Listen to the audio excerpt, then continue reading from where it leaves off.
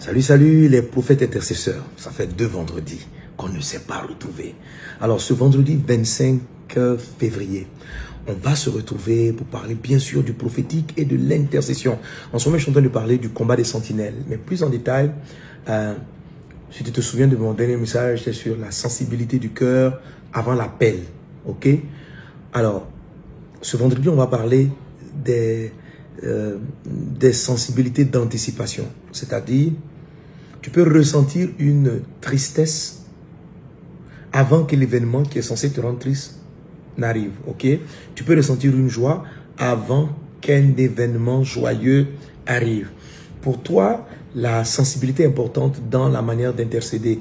Donc Dieu va par anticipation toucher ta sensibilité. Et un des combats de, des sentinelles euh, et des prophètes intercesseurs, c'est que euh, l'ennemi va attaquer cette sensibilité, mais surtout ce que tu appelles la sensibilité par anticipation. Ok?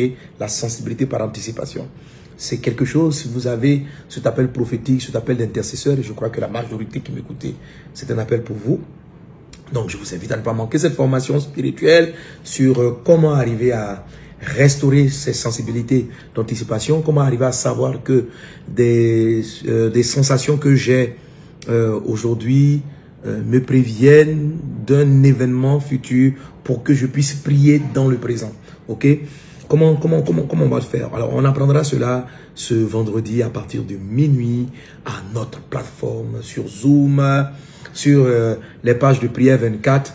C'est notre rendez-vous des Night Fire. C'était Pasteur Mohamed Sanogo.